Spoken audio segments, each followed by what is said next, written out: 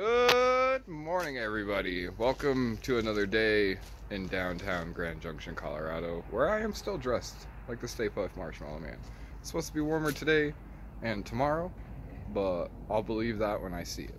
So, if you didn't watch the previous episode, you need to go watch the previous episode because I'm just going to get right into this one with no explanation at all, so you'll have to catch yourself up. Flip you around, show you what we got going on. Erica's here super awesome. Did super great this morning, except for the fact that somebody graveled one of the fucking roads that I drive to get here, and my dumb ass decided to make a pull over it, not realizing it was gravel, and she got loose. Yeah, fun times. Alright, so, I got my box of electrical connectors, including the 150 amp fuse that I blew up. Got some ATF, definitely not enough. Got some oil, that should be plenty.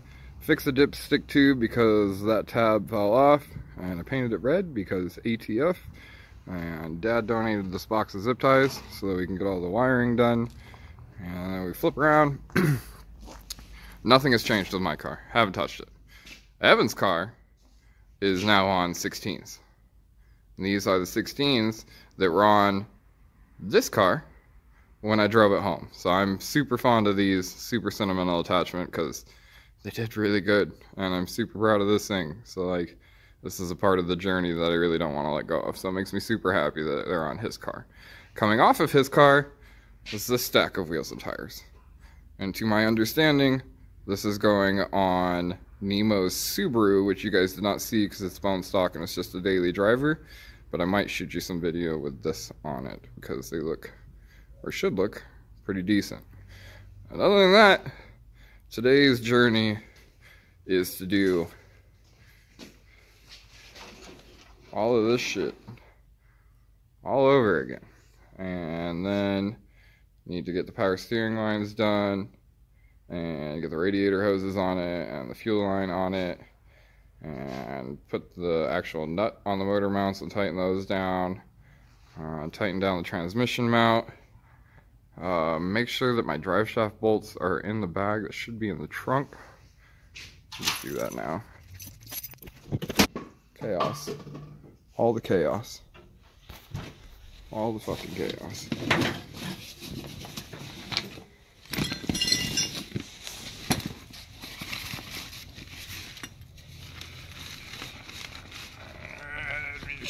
Yep.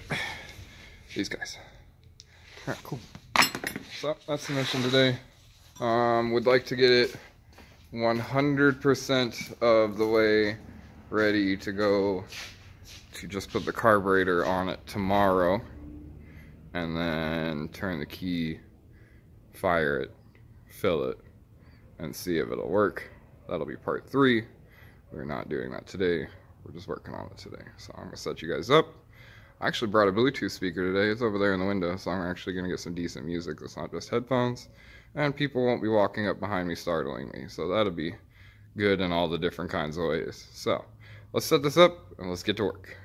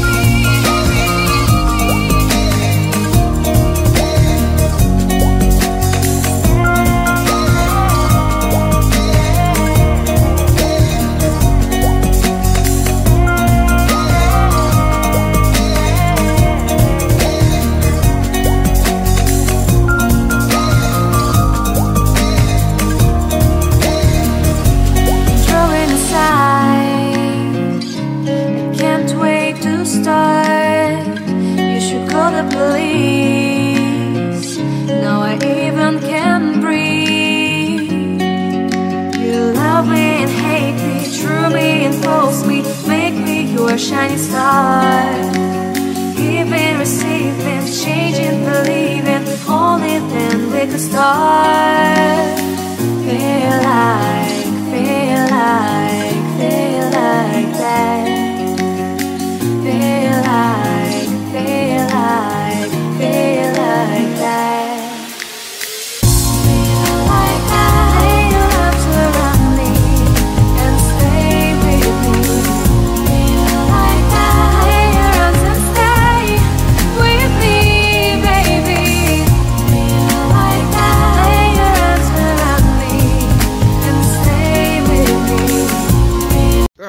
not mind the mess.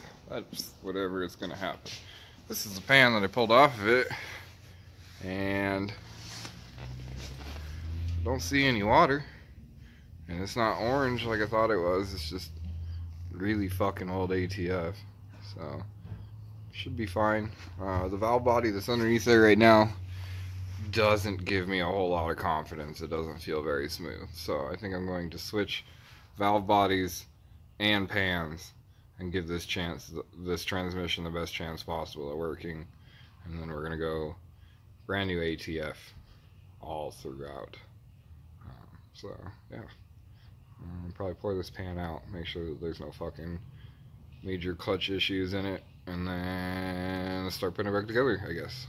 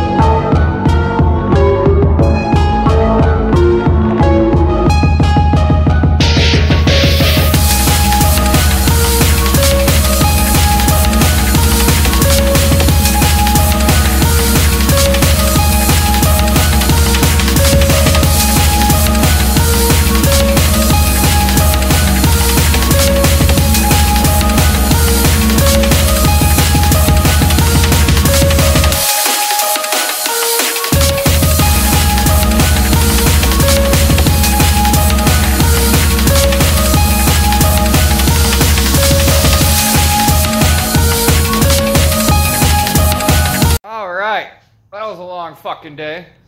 That was more time lapse than I've done in a, a really long time. So I hope you guys enjoyed that. Smash the like button. Anyways, I'm standing here. I've got a small list of things in my head that I need to get. I'm gonna go hang out with Evan for a little bit and gather those things. Um, we are not going to get it running and driving tonight.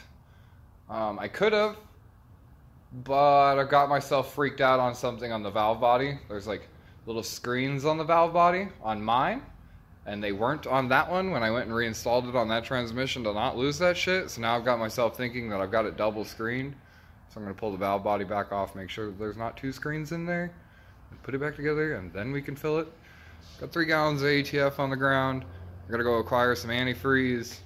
Uh, I gotta acquire a piece of fuel line to redo the return on the power steering pump because it's old and cracked and shitty.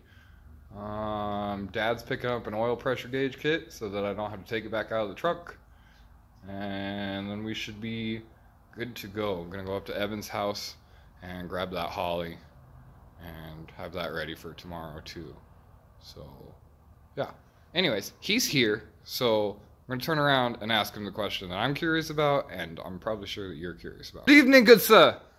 Yo, Why are you going from 17s to 16s? the 17s are for fags. I'm just kidding. Um, for weight, smaller tire size. 17s are cool looking, but I'm not going for cool looking. Going for fast as I can for as cheap as I can. Just so you guys are aware, these tires are not what's going to happen. Those aren't. Um, probably half of this tire height, to be to be honest with you, is what's probably going to happen. So So those tires, these ones.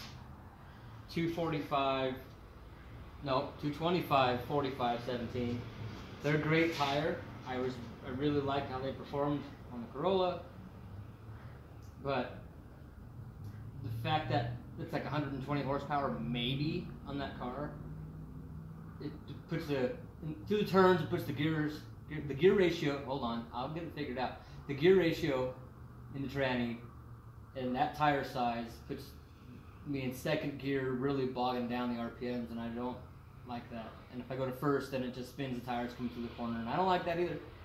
So my theory was smaller tire size, uh, change the gear ratio kind of, and have a higher RPM through the turns and be able to get out of the turn faster. And the taller, smaller tire size will help the acceleration and overall less unsprung weight and rotating mass. So I should pick up probably another couple seconds around the track. I hope. And if this sounds confusing to you people that actually watch my channel and are dedicated to it, that's because we don't play that game. But the, the, the game that he just described, we play the opposite. We are going up in tire size, hoping to lower the RPM so that we can run it out the back door further. This car and that car are polar opposites. This one turns, this one goes in a straight line, this one does things, this one's grouchy as fuck. That's that's just how it is. So, I'm gonna go hang out with him. I am done for the night. I will catch you guys tomorrow when we get to find out whether this thing fucking moves or not, which will be fantastic because I would love to take this home. So, that'll be good. Catch you guys later.